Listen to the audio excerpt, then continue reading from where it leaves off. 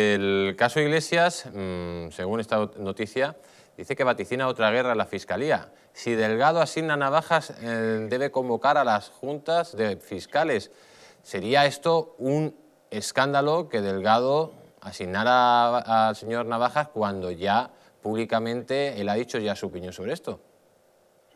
Bueno, ya veremos qué es lo que acaba ocurriendo. ¿no? Eh, la Junta de Fiscales es un organismo potente y, acabará diciendo lo que tenga que decir. Al final, de todas formas, la decisión la van a tener los responsables del Tribunal Supremo.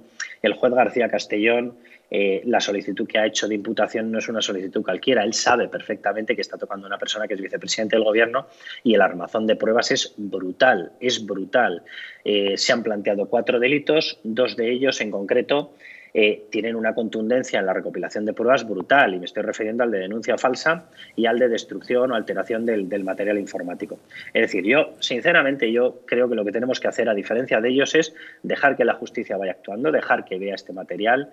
El Tribunal Supremo es un organismo que, independientemente de que podamos estar de acuerdo o más en desacuerdo con determinadas decisiones, no es un tribunal compuesto por ninguna personas que carezcan de formación jurídica, la tienen y la tienen muy asentada saben perfectamente que lo que aquí está en juego ya no son cuestiones menores.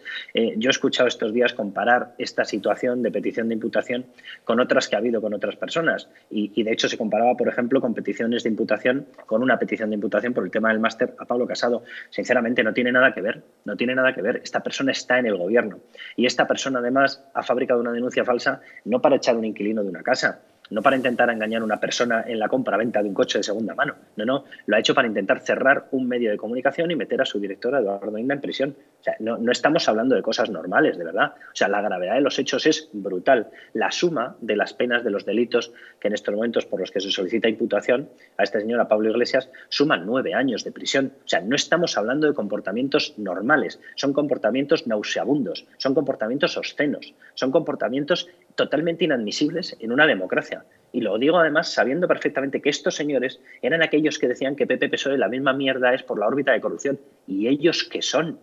¿Ellos qué son?